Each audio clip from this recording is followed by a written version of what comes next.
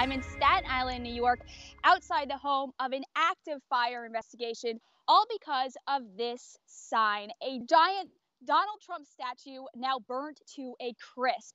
The homeowner Sam Pirozzolo tells me it went up in flames early Sunday morning.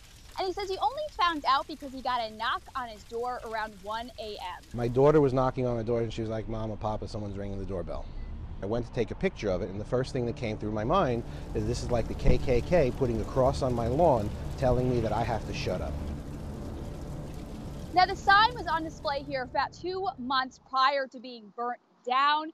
It was created by local artist Scott LoBaido, who shaped it as the letter T.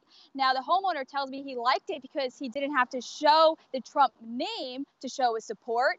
And he also thought he wouldn't face retaliation. But as you can see, backlash is exactly what he got. Do you have any inkling on who could have done something like this? Coward, moron.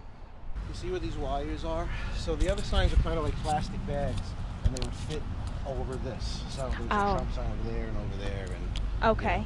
they were they were you know, kids type thing. But I didn't really realize it. I came home from work Saturday with my son. I got out of the car and I'm like, oh, my signs are gone. Anybody that wants to intimidate me and tell me that I can't have my First Amendment right of speech can kiss my ass. Number one. And what's number two? Well, this Staten Islander has even more plans to put a bigger sign outside his home in support of Donald Trump. Now, the FDNY tells me they're investigating the matter, and if there are any updates, we'll be sure to bring them to you.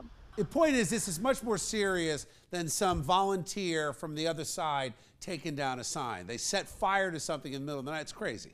People are nuts. But this guy is kind of taking this out of proportion. I mean, no one died, just the Trump sign got burnt. I mean, get over it. Police have a lot of other priorities right now. They will investigate it, but, you know, calm down.